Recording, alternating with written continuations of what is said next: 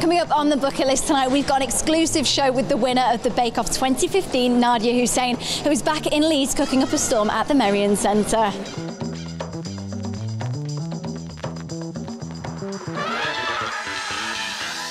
That's the Book It List every night of the week on Made in Leeds at 6.30 and 9.30, straight after on the air.